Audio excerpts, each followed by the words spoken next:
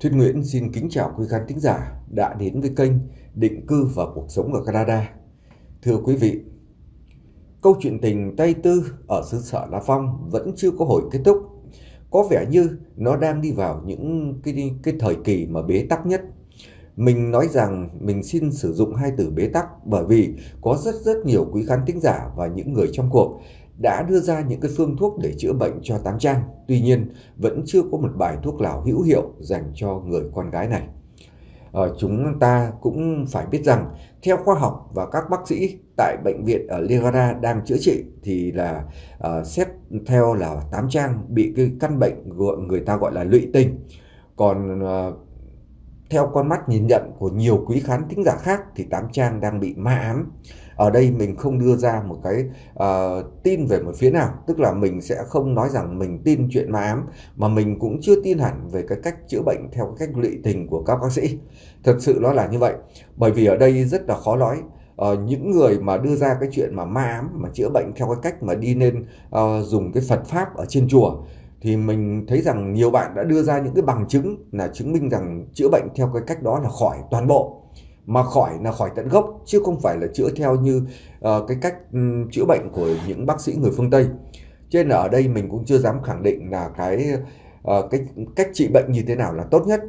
Trong video trước các bạn đã biết rằng Tám Trang đã tỉnh lại và các bác sĩ đang cố gắng làm một cái bài test à, một bài thử để xem rằng là Tám Trang có những cái hiện tượng gì và từ cái bài thử này có thể đưa ra cái tính quyết định rằng là chữa bệnh cho Tám Trang theo cách thức nào. Trước khi mà gọi những người thân của Tám Trang đến là cho phép vào thăm thăm bệnh nhân thì các bác sĩ đã lắp đặt camera ở đây là để theo dõi toàn bộ 24 trên 24 những hành hành động, những cái cử chỉ nhất động của Tám Trang. Kể cả là trước đó nhiều người nói rằng là à, Tám Trang nhìn thấy ờ, oan hồn của bà Ngọc Trinh và cái đứa con của mình. Cho nên là các bác sĩ sẽ lắp camera 24 trên 24 và có thể camera này sẽ quay được những cái bóng ờ, những cái hình bóng mà có thể gọi là ma đó nhiều khi mắt thường mình không nhìn thấy nhưng camera có thể quay về ban đêm lại có thể nhìn thấy những bóng ma đó đây là những câu chuyện có thật diễn ra ở đời thật trên là các bác sĩ đang cố gắng tìm hiểu mặc dù các bác sĩ không tin nhiều vào cái chuyện duy tâm nhưng vẫn không loại trừ những cái khả năng đó trên là các bác sĩ đã lắp đặt camera là một và cái thứ hai là một bài thử cho tất cả những người thân của tám trang đến thăm và như các bạn biết, mình đã đáng ra theo cái kế hoạch là mình sẽ đến bệnh viện ở Toronto để thăm bà Ngân. Bà Ngân mới bị nhập viện. Đây là lần thứ mấy rồi? Lần thứ hai tính từ lúc bị động thai. Và trong khi đó thì muốn thăm cả ông ông Năm nữa, cha của Tám Trang nữa. Thì trong khi đó thì mình đã hẹn tầm khoảng 3 rưỡi nhưng sau đó thì đã bị uh, hoãn kế hoạch bởi vì uh, khi mà nghe tin các bác sĩ ở trên thác nước Ligra cho thăm gặp người nhà của Tám Trang thì mình rất sốt ruột và đã đi cùng anh Tuấn. Uh, anh Tuấn chủ nhà hàng mà Tám Trang giới thiệu là người yêu mới người yêu mới đó với sinh viên Hùng đó và ở đây anh Tuấn muốn nhờ mình là có thể khả năng là cậu này sẽ ở lại ở thác nước đó và muốn gửi cho nên là gửi cái đứa con của anh ấy mang về nhà mình. Bởi vì mình hiện tại đang nuôi hai đứa con nhỏ, thì con của Tuấn mới chỉ 8 tuổi, nó cũng là bạn bè với nhau, chơi với nhau có thể rất tốt. Thì các bạn đã biết rồi, khi đến đó thì Tám Trang đã ôm đứa bé đó ôm đứa bé con của anh Tuấn và đã nhận cái đứa bé này là con của mình và cứ tên kêu tên gọi là Nghiêm. Trong khi đó đứa bé này tên là Ngọc Anh các bạn ạ. Cho nên ở đây là một cái sự mà khó là lý giải và mình tin rằng trong một hai ngày tới đây thì các bác sẽ các bác sĩ có thể đưa ra cái sự lý giải và quyết định uh, cái hướng chữa bệnh uh, cho Tám Trang theo cái cách chữa bệnh như thế nào. Bởi vì qua cái câu chuyện mà Tám Trang cứ nhận uh, Ngọc Anh là là đứa con của mình thì các bác sĩ đã hiểu rằng là chính những cái hình bóng ám những cái bóng ma ám ảnh trong tâm hồn trong cái đầu óc của cô gái tám trang này đã khiến cho cô gái này uh, khó có thể uh, quay trở lại với cõi đời thực suốt ngày tức là nằm trong những cái những cái cơn mê sảng và dự đoán của các bác sĩ ở tại bệnh viện trên thác nước Ligara như thế nào thì mình sẽ xin đi nói sau. Trước khi đi vào cái vấn đề phân tích và nhận định của các bác sĩ thì mình sẽ ờ, đọc một số lời bình luận của một số bạn khác vẫn là trong cái câu chuyện mà góp ý để cho tìm ra một cái giải pháp chữa bệnh cho tám trang. Một bạn đến từ đất nước Mỹ, mình ờ, không biết là tên bạn bởi bạn toàn viết tiếng Anh mình không đọc được nhưng có cái ờ, cái biểu tượng gì đây cũng rất là khó nhìn nhưng mà cái email của bạn ấy có số 3808 cho nên là mình sẽ gọi bạn ấy là 3808 bạn ấy viết với cái tựa đề là liều thuốc chữa bệnh cho tám trang vâng và đây là nội dung của cái uh, cái lời bình luận này mà nó dài như một lá thư. Thưa anh em đến từ đất nước Mỹ. Em đã theo dõi câu chuyện tình tay ba bi đát của anh từ rất lâu rồi. Im lặng và theo dõi. Lúc này đây nó càng thêm rắc rối và bế tắc khiến em không thể im lặng mãi. Sau đây em xin chia sẻ với anh và mọi người phương thuốc hữu hiệu, hữu hiệu, đơn giản mà ít ai nghĩ tới.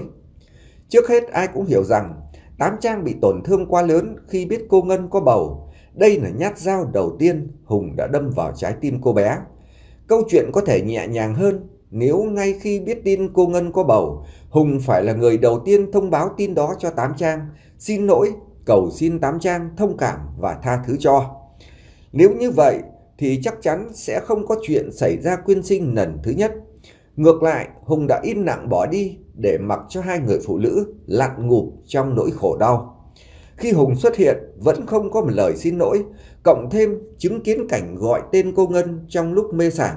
Đó là nhát dao thứ hai khi vết thương chưa lành thì lại bị cắm sâu hơn. Vẫn không một lời xin lỗi, Hùng đã bỏ đi lần thứ hai. Tám Trang lại tiếp tục chứng kiến cảnh Hùng ôm hôn bà Ngân, không một lời giải thích. Đây là nhát dao lần thứ ba cắm xuống tận cùng vào trái tim mong manh dễ vỡ của cô gái tên là Tám Trang thì làm sao Tám Trang có thể tồn tại được được đây? Thực chất Hùng đã lợ Tám Trang một lời xin lỗi cảm thông chân thành. Thưa anh, một lời xin lỗi đôi khi chính là liều thuốc chữa lành mọi vết thương, chữa lành mọi mối quan hệ. Việc Hùng mơ hồ không quyết định chọn ai trong cuộc đời uh, chính là những nhát dao xoáy sâu vào trái tim của cả hai người phụ nữ. Hùng thực sự yêu thì sẽ không làm như vậy. Việc cố gắng không làm tổn thương ai bằng cách bằng cách im lặng thì hiệu ứng sẽ là ngược lại. Như mọi người đã thấy, cô Ngân bị động thai, tám trang tự tử lần hai. Nếu Hùng vẫn tiếp tục không rõ ràng, không lộ rõ tình cảm của mình cho một trong hai người thì hậu quả sẽ khủng khiếp hơn nhiều. Chắc chắn là như vậy. Thực tế cả Tám Trang và cô Ngân đều mong đợi quyết định này sẽ có một người tổn thương nhưng nó rõ ràng và dễ vượt qua. Việc Tám Trang quyết định quyên sinh là để Hùng trả lợ mối ân tình mà thôi. Đó uh, chính là lời xin lỗi chân thành mà thôi. Mọi người tin em đi, đây chính là liều thuốc Tám Trang cần và là liều duy nhất để cứu Tám Trang mãi, chứ không, Tám Trang không có bệnh gì đâu. Vậy em xin hiến kế điều Hùng cần làm ngay lúc này là Thứ nhất, nếu Tám Trang chưa tỉnh, Hùng cứ làm uh, ờ, tát uh, cạnh Tám Trang nói những lời xin lỗi yêu thương cho đến khi Tám Trang hoàn toàn tỉnh lại và khỏe mạnh. Năng lượng của tình yêu sẽ khiến Tám Trang lanh, ờ, nhanh lành và khỏe mạnh. Thứ hai, khi xuất viện, Hùng hãy quỳ gối cầu xin tha thứ như đã từng làm với ông Lâm xin Tám Trang tha thứ cho tất cả những gì mình đã làm, đặc biệt là lý do tại sao im lặng và bỏ đi. Thứ ba, khi Tám Trang chấp nhận tha thứ thì đây là bước quan trọng, Hùng phải đi thẳng vào vấn đề chọn ai là vợ. Nếu chọn Tám Trang thì hãy cầu mong cô ấy chấp nhận cô Ngân như là ân nhân và đảm bảo không còn mối quan hệ tình cảm mà chỉ là tình mẫu tử cho đứa bé. Đây sẽ là điểm cộng nếu Hùng chọn Tám Trang. Xin mọi người đừng nghĩ Hùng là người trăng hoa. Chẳng qua Hùng còn quá trẻ để nhận ra mấu chốt của vấn đề mà thôi. Nếu Hùng chân thành trong tình yêu, chắc chắn bệnh tự tử sẽ không còn nữa. Thứ tư, cũng ờ, cùng lúc Hùng cũng lên uh, xin lỗi bác sĩ Trần cho những lần xúc phạm. Bởi lời xin lỗi luôn mang đến những năng lượng tích cực. Người xưa có câu, xin lỗi là trí, trí tuệ. Thư đã dài, Mong anh gửi nợ, gửi gửi ná thư này tới Hùng. Chúc anh và các cháu luôn nhớ mạnh khỏe và bình an. Vâng thưa quý vị, trước khi đi vào phân tích lá thư này thì mình ờ, có lời xin cảm ơn rất là nhiều tới bạn 3808 ờ, đến từ đất nước Mỹ. Thật sự ra ờ, những cái điều này nó rất là đơn giản và ai cũng có thể nhìn ra. Nhưng tại sao từ trước đến giờ thì tất cả mọi người đều không nhìn ra? À, bởi vì sao? Bởi vì họ nhìn thấy những có cái nó có vẻ tích cực hơn cái điều bạn này vừa nói. Bởi vì bạn ấy nói ra cái điều này nó rất là đơn giản. Nhưng mà chẳng hạn như những câu chuyện chẳng hạn như mà khi mà Hùng uh, ôm hôn bà Ngân rồi, Hùng lại nao vào đến khi mà vào thấy Tám Trang và ông Năm đang khóc ở trong bệnh viện thì Hùng đã coi như là đến ôm Tám Trang đúng không ạ? hoặc là một lần mà khi mà tám trang chạy uh, ra khỏi bệnh viện thì hùng đã đuổi theo và đã ôm hôn nhau ở tại uh, Ờ, ở ở bên ngoài khuôn viên bệnh viện. Thì các bạn theo như mình nghĩ rằng và có nhiều người nghĩ rằng những cái hành động của hùng đó đã nói lên tất cả rồi. Nó còn lớn hơn cả những cái lời xin lỗi bình thường đúng không ạ? Bởi vì một lụ hơn có thể là nói lên tất cả rằng là anh yêu em suốt đời hoặc anh đã có lỗi với em và anh đã trả, anh sẽ trả nợ em bằng cái cách bằng một lụ hôn đắm mưa đuối chẳng hạn nó là như vậy. Tuy nhiên thật sự ra nghĩ trên cái phương diện chính thì là như vậy thôi nhưng nhìn vào sự việc thật đó, thì thực sự ra cái lời của bạn 3808 này mình thấy mới là có ý nghĩa rất nhiều. À, các bạn cứ thử đặt mình vào một cái ờ, tình trạng của Tám Trang hoặc của bác sĩ Trần chẳng hạn. Bây giờ tự nhiên uh, Hùng mà xin lỗi bác sĩ Trần chẳng hạn thì mình nghĩ rằng có khả năng bác sĩ Trần sẽ ôm Hùng và khóc lức lở bởi vì uh, bác ấy vẫn là thương Hùng. Uh, các bạn biết rằng là con người của uh, trong trái tim của mỗi con người ai cũng vậy thôi dù họ cứng rắn thế nào thì cứng rắn nhưng trong con tim của họ vẫn có những phần mà rất là yếu đuối trong cái lĩnh vực tình cảm. Chẳng qua là mọi người chưa biết động chạm vào những cái trái tim của họ trong trong những cái cái mạch máu của trong cái trái tim của họ mà ở phần này là cái phần mà mình gọi là cái sợi dây liên kết hữu tình. Ờ, các bạn biết rằng là um, chẳng hạn như là một một cái trái tim á nó có nhiều cái cái dòng máu cái mà nhịp đập của trái tim nó có nhiều cái dòng máu để dẫn vào cái trái tim để cho trái tim đập và để nuôi để khiến cho con người của ta à, có thể hít thở không khí và làm các cái chức năng khác đúng không ạ? Nhưng trong những cái mạch máu này thì có những cái mạch máu mà mình gọi là à, theo như cái cách nhìn của mình á gọi là hữu tình. Ở đây nó nói về cái tình thương của con người và chính cái mạch máu này dẫn đến cái sự xúc cảm của con người. Đấy. Còn thì những cái mạch máu khác là vẫn có những cái chức năng khác, nhưng có thể nó khiến là đó là về cái nói về vấn đề là lý trí. Và ai cũng có những cái mạch máu đó thôi. Thì chắc các bạn ở đây, chẳng hạn như sinh viên Hùng ở đây chưa động chạm vào cái mạch máu đó của bác sĩ Trần. Chẳng hạn như bây giờ giữa Hùng và bác sĩ Trần, hai người vẫn căng thẳng, không ai chịu nhường nhịn ai. Thì ở đây các bạn biết rằng bác sĩ Trần đã quá nhiều tuổi rồi, đáng tuổi ông nội của Hùng cơ đúng không ạ. Và khi một người ta sống từ cái người châu Á của mình bao giờ cũng vậy khi người ta nhiều tuổi và người ta nghĩ rằng là tôi là ông nội của anh cơ thì nếu một lời xin lỗi thì người, người ít tuổi là phải đưa ra những cái lời đó, đó đó trước. Mặc dù kể cả người kia coi như là uh, có lỗi một chút chăng nữa thì Hùng vẫn phải là người xin lỗi đầu tiên. Và khi mà Hùng biết động chạm vào trái tim của bác sĩ Trần trong cái mạch máu đó thì chắc chắn bác sĩ Trần Trần sẽ tha thứ và bác sĩ Trần sẽ có thể là rơi lệ ở đây các bạn nhìn thấy rồi, bác sĩ Trần cũng đã từng một lần khóc khi ôm mình, khóc lức lở lên rồi. Đó là có thể rằng là lúc đó chính là cái cái mạch máu mà dẫn đến mà mình như vừa nói đó. À, trong cái ừ, tình cảnh mà tám trang khi mà gieo mình xuống dòng thác đó thì chính cái điều đó đã khiến cái mạch máu đó của bác sĩ Trần hoạt động mạnh và khi gặp mình một cái thì là bác sĩ không kìm được cái cái cảm xúc đó nữa và lao mình lao vào vào lao vào ôm mình và khóc nức nở thì trong câu chuyện của bạn uh, uh, 3808 này cũng muốn nói nói tới cái điều đó. Bạn ấy kết thúc lá thư này bằng một câu là xin lỗi là trí tuệ. Và nếu Hùng mà đưa ra một lời xin lỗi với Tám Trang, với Quý Bảo Ngân thì câu chuyện mình nghĩ rằng có thể nó sẽ đơn giản hơn rất nhiều. Chẳng hạn theo đúng cái cách của bạn này. Uh, mình không muốn nói tới tức là có uh, trong cái phần đầu lá thư mà bạn ấy nói rằng là có ba nhát đâm uh, ba nhát dao uh, của Hùng đã đâm xuống trái tim của cô, cô gái Tám Trang. Mình không nói tới điều này nữa bởi vì thực sự ra uh, khi mà cứ khoét sâu vào vấn đề này thì không khác gì là cho câu chuyện nó căng thẳng thêm đúng không các bạn? Bây giờ chúng ta chỉ nhìn về khía cạnh làm cách nào đó để coi như có thể chữa bệnh được cho Tám Trang. Thì bạn 3808 này khẳng định một điều rằng Tám Trang không hề có bệnh gì cả. Mình mong muốn là cái điều đó là đúng. Và ở đây cái bệnh ở đây là bệnh từ từ trái tim của Tám Trang mà thôi. Trái tim của Tám Trang đang bị tổn thương rất nặng và chính Hùng có thể xoa dịu cái ờ, cái ờ, cái vết thương này bằng cách làm sao? Bằng cách xin lỗi và đưa ra một cái quyết định ờ, rằng là sẽ lấy ai, một trong hai người. cũng trong lá thư này bạn ấy không đưa ra một cái nói rõ ràng rằng là Hùng nên lấy ai hoặc là lấy bà Ngân hay là lấy Tám Trang nhưng mình hiểu ý của bạn uh, muốn nói rằng là có thể Hùng sẽ chọn Tám Trang ở đây thì mọi người sẽ nói rằng là Hùng nên chọn uh, Tám Trang. Bởi vì bà Ngân thì sẽ có một đứa con là cái liềm động viên an ủi cầu cả cuộc đời rồi.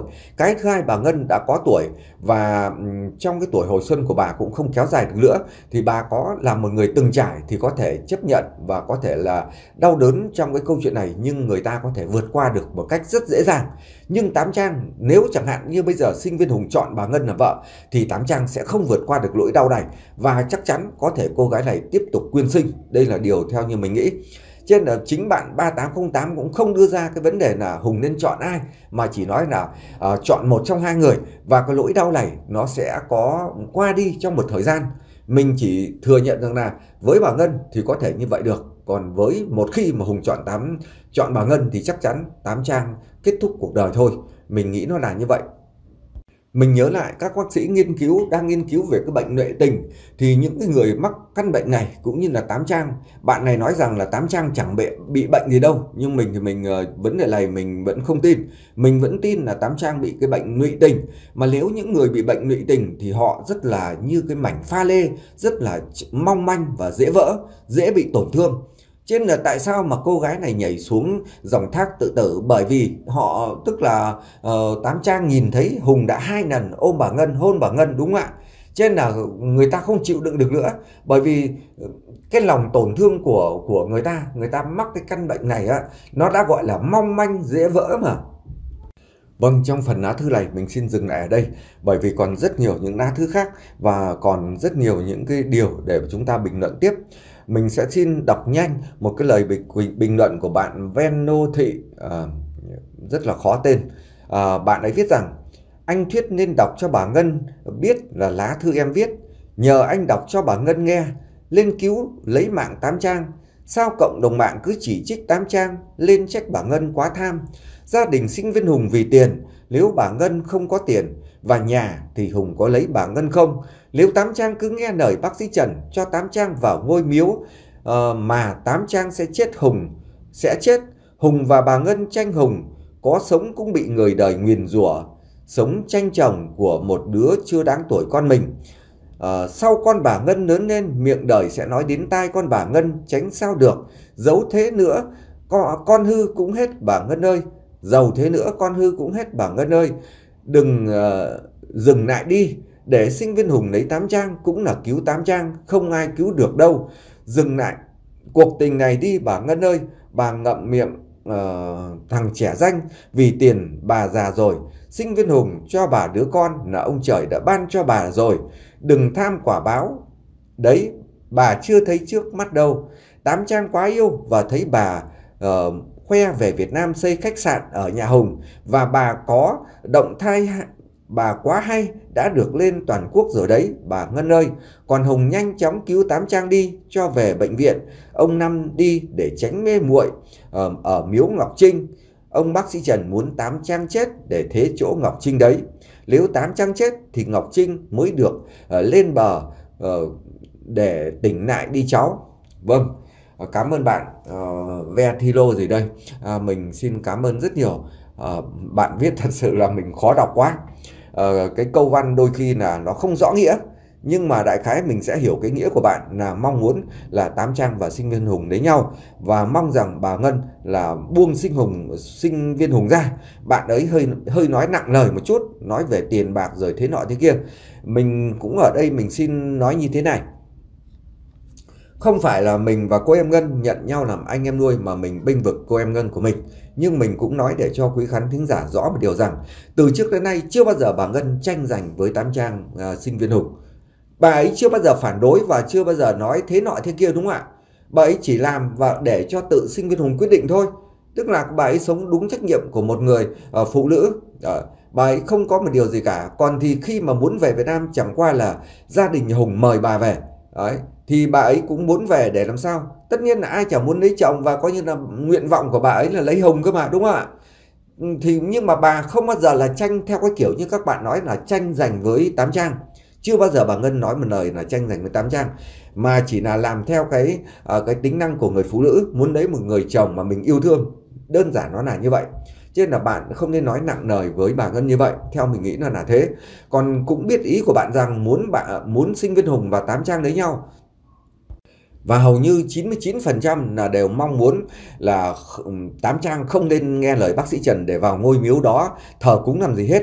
Và cũng khuyên là ông Lâm không lên trên uh, trên ngôi miếu đó để tìm hiểu làm gì hết.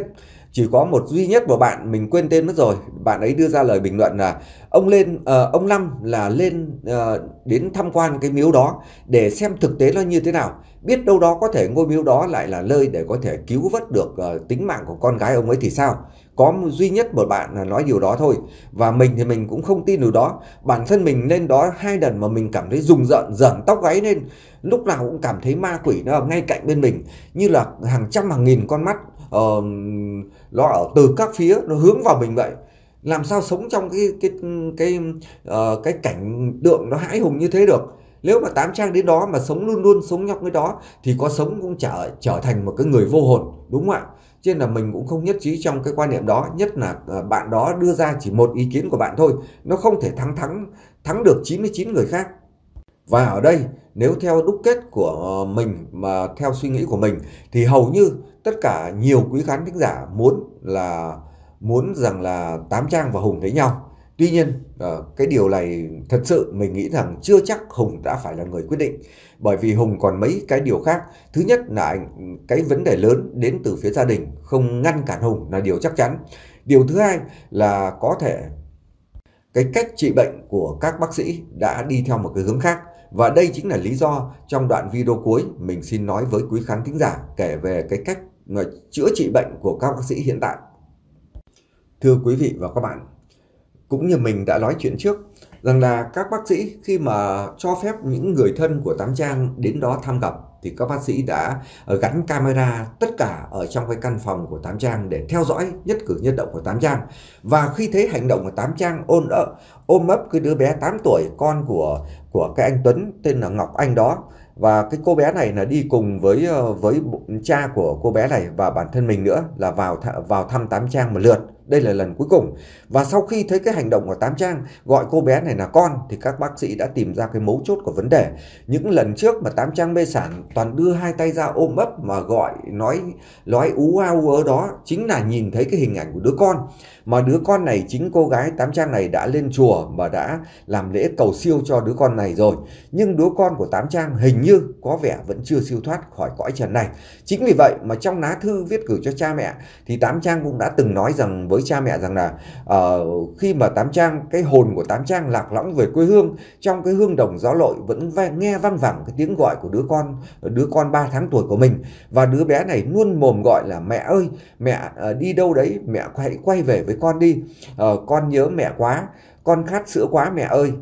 Vâng, mình vẫn nhớ những cái lời mà Tám Trang viết trong lá thư gửi cha mẹ của mình có nói về cái đứa bé này. Và như các bạn biết, vào cái ngày 20 tháng Chạp vừa qua, tính theo ngày âm lịch, là Tám Trang đã lên một cái ngôi chùa Toronto này làm lễ cầu siêu và đặt tên cho con của mình tên là Vũ Nghiêm. Thì ở đây cô bé này tên là Ngọc Anh mà coi như là ờ, Tám Trang thì gọi là là tên là Nghiêm. Đấy, khi mà cô bé này phản bác rằng là con tên là Ngọc Anh chứ không phải tên, tên là Nghiêm thì Tám Trang đã trách móc rằng là sao tên của con mà con cũng quên hay sao. Ờ, và Tám Trang ôm cái đứa bé này rất chặt. Thì ở đây các bác sĩ đã phát hiện ra rằng chính Tám Trang vẫn đang trong đầu lúc nào ám ảnh. Có hai cái hình ảnh. Thứ nhất là hình ảnh của bà Ngọc Trinh. Thứ hai là hình ảnh của đứa con mà đã mất đi, đứa con 3 tháng tuổi thì sau khi mà xem được cái uh, xem đi xem lại cái uh, cái camera để quay cái lúc mà tám trang ôm cái đứa nhỏ này thì các bác sĩ đã gọi riêng uh, cái người đàn ông tên là Tuấn vào một cái phòng riêng để, để nói chuyện. Uh, thực sự ra là Tuấn chưa tiết lộ cái vấn đề này nữa rồi chưa tiết lộ. Và sau đó thì buổi chiều nay là mình phải đi về rồi. Mình không ở lại được đó nữa bởi vì mình có con nhỏ. Cái thứ hai là mình đưa cái cháu bé đó về. Thì tám trang lúc mà mình đưa về đó là tám trang kêu gào rất nhiều. Gọi cái đứa bé này rất nhiều. Nhưng mà mình đã theo lời của Tuấn là đưa đứa bé này về với uh, với hai đứa con của mình chơi ở đó chơi ở nhà mình. Còn thì Tuấn là phải ở lại muốn coi như là gần gận bên người yêu của mình và các bạn biết không mình thì mình không hiểu rằng là các bác sĩ đã nói gì với Tuấn. Và hiện tại thì mình cũng đang bận rộn trong buổi chiều ngày hôm nay giúp mấy đứa trẻ cũng chưa có điều kiện để mà gọi điện nói chuyện với Tuấn ra sao các bác sĩ nói ra sao. Nhưng theo cái dự đoán của mình á là khi thấy cái hành động này thì khả năng là, là các bác sĩ gọi xem cái quan hệ của Tuấn với cô gái Tám Trang là như thế nào. Và quan hệ của đứa bé này với Tám Trang ra sao. Và sau đó có thể đưa ra một cái quyết định gì đó mình suy đoán thôi. Và theo như mình suy đoán có thể là uh, cái đứa bé này sẽ được đưa đến cái nơi Tám Trang ở trên bệnh viện đó và sẽ ở cùng với Tám Trang để cho ờ, để cho ừ, đây là một cách theo nhiên là chữa bệnh. Đấy là mình suy đoán thôi nhá. Bởi vì nếu mà có làm việc này cũng không uh, cũng phải mất một một vài ngày. Có nghĩa là có thể nếu mà đứa bé này lên đó thì bắt buộc Tuấn cũng phải chuyển lên đó và có thể là chuyển trường học lên đó nữa cái thứ hai là có thể đưa nếu mà ừ, tám trang nó khỏe khỏe một chút có thể đưa về uh, đưa về bệnh viện ở dưới tô dân tô hoặc có thể đưa chính về gia đình nhà tuấn. Bởi vì hiện tại là nhà hàng của tuấn đã đóng cửa. Cái thứ hai là Tuấn đã mời cả cha của Tám Trang. Và hiện tại thì anh Tuấn này cũng đang mời của mẹ của mình để sang trông em bé này nữa. Nếu mà thật sự mà Tám Trang và đứa bé này có một sợi dây vô hình liên kết với nhau và nếu chính cô bé nhỏ tuổi 8 tuổi này mà chữa bệnh được khỏi cho Tám Trang thì uh, có lẽ cái phương pháp đó là cái phương pháp hữu hiệu nhất mà có thể Tám Trang sẽ cắt được uh, cắt đứt được cái cái mối tình duyên này. Đó là theo suy nghĩ của mình thôi. À, tất nhiên cái điều này đúng hay sai thì phải còn đợi qua một ngày mai để xem các bác sĩ uh, nói những gì với với cái người tên là Tuấn kia và mình muốn nghe cái lời bình uh, cái lời góp ý của bác sĩ Trần nữa bởi vì thực sự ra mình vẫn cảm thấy bác sĩ Trần có một cái gì đó rất đặc biệt trong cái vấn đề mà quyết định uh, để chữa bệnh cho tám trang này các bạn ạ. Uh, nhiều người nói rằng là bây giờ là không nên ở gần bác sĩ Trần nữa nhưng các bạn đã nhầm bởi vì Tám Trang chỉ bây giờ Tám Trang có quyền quyết định thôi. Chẳng hạn Tám Trang bây giờ tuyên bố rằng tôi không phải là bệnh nhân của ông nữa và tất cả điều này được ghi lập thành một cái biên bản và chẳng hạn được các bác sĩ công nhận thì lúc đấy bác sĩ Trần mới ờ, mới không có quyền ở gần Tám Trang. Còn bây giờ Tám Trang hiện tại đang là bệnh nhân của bác sĩ Trần thì bác sĩ Trần có mặt bất cứ lúc nào. À, đây là cái luật ở đây nó là như vậy rồi thì mình muốn nghe cái ý kiến của bác sĩ Trần như thế nào đó với câu chuyện của Tám Trang. Chẳng hạn như bây giờ Tám Trang về Toronto thì bác sĩ Trần nghĩ sao? Chẳng hạn như vậy. Và cái ý của bác là uh, là cho Tám Trang chữa bệnh uh, thờ cúng ở ngôi miếu kia thì như thế nào? Mình muốn nghe lời của bác sĩ Trần nói là như vậy. Nhưng rất tiếc là mình chưa gặp và chưa nói chuyện được bác sĩ Trần cũng như là chưa nói chuyện được với chàng trai tên là Tuấn kia. Vâng, câu chuyện này có vẫn còn tiếp diễn rất nhiều và mình sẽ mời quý khán thính giả và các bạn tiếp tục theo dõi câu chuyện tình này vào lúc 7 giờ sáng ngày mai ở giờ Việt Nam các bạn nhé. Mình xin chân tình cảm ơn quý khán thính giả và các bạn rất rất nhiều và xin chào, hẹn gặp lại.